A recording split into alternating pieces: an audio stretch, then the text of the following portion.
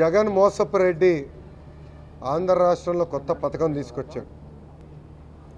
అది ఉగాది నాడున పేద ప్రజలపైన విద్యుత్ ఛార్జీలు పెంచి బాధుడే బాధుడు. రెండు వేల పంతొమ్మిది ఎన్నికలు గెలిచిన తర్వాత ప్రమాణ స్వీకారం రోజు చాలా పెద్ద పెద్ద మాటలు చెప్పాడు జగన్ రెడ్డి.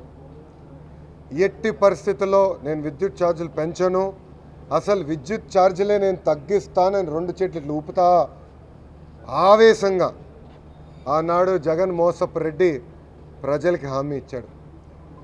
కానీ జగన్ మోసపు రెడ్డి ముఖ్యమంత్రి అయిన తర్వాత ఏడు సార్లు ఒకసారి రెండు సార్లు కాదు ఏడు సార్లు విద్యుత్ ఛార్జీలు పెంచి పన్నెండు వేల కోట్ల భారం పేద ప్రజలపైన పెట్టారు. దీనికి అనేక పేర్లు పెట్టారు. ట్రూ అప్ ఛార్జీలు అన్నారు పాత బకాయిలు కొంత డబ్బులు లాగారు. ఇట్లా అనేక పేర్లు పెట్టి ఈరోజు ప్రజల దగ్గర పేద ప్రజల దగ్గర ఈ ప్రభుత్వం పెద్ద ఎత్తున విద్యుత్ ఛార్జీల రూపంలో వసూలు చేస్తున్నారు. జగన్ రెడ్డి ముఖ్యమంత్రి అయిన దగ్గర నుంచి ఆంధ్ర రాష్ట్రంలో పేద ప్రజలు హాయిగా ఆనందంగా లేరు. చెత్త పైన పన్ను పెట్టి పెంచారు. ఇంట్లో కుక్కలు ఉంటే దానికి పన్ను పెట్టారు. ఇంట్లో టాయిలెట్లు ఉంటే దానికి పన్ను పెట్టారు. ఇంటి పన్ను పెంచారు.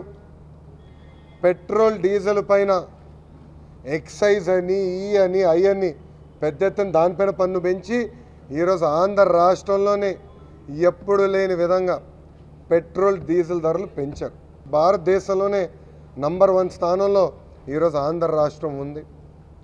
ఇంకో ప ఇంకో పక్కన చూస్తే మద్యం పైన కూడా కల్తీ సారా ఒక పక్కన కల్తీ మద్యం పైన కూడా అనేక పేర్లు పేర్లు పెట్టి ఈరోజు పేద ప్రజలు పుట్టగొడుతున్నాడు ఈ జగన్ మోసపు రెడ్డి.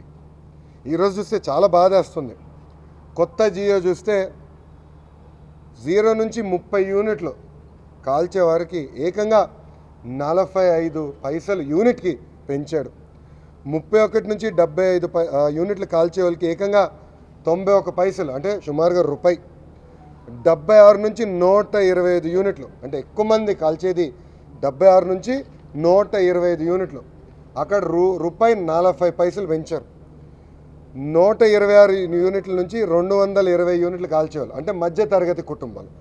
వాళ్ళకి రూపాయి యాభై ఏడు పైసలు ఒక యూనిట్కి పెంచాడు రెండు వందల ఇరవై ఆరు యూనిట్ల నుంచి నాలుగు వందల యూనిట్ కాల్చే వాళ్ళకి యూనిట్కి రూపాయి పద పదహారు పైసలు పెంచాడు.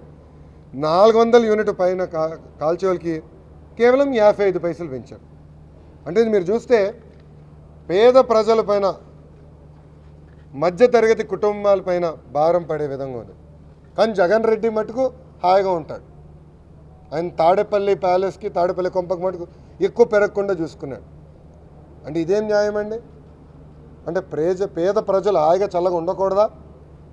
ఇదెంత దారుణం? ఒక్కసారి మనందరం ఆలోచించాలి. వార్తావాణి న్యూస్ ఛానల్ ఎప్పటికప్పుడు రాజకీయ సినీ విశేషాలు స్పోర్ట్స్ మరియు సాంకేతిక పరమైన మరెన్నో విషయాలను మన ముందుకు తెస్తుంది. మరింత సమాచారం కొరకు వార్తావాణి న్యూస్ ఛానల్ని సబ్స్క్రైబ్ చేయండి.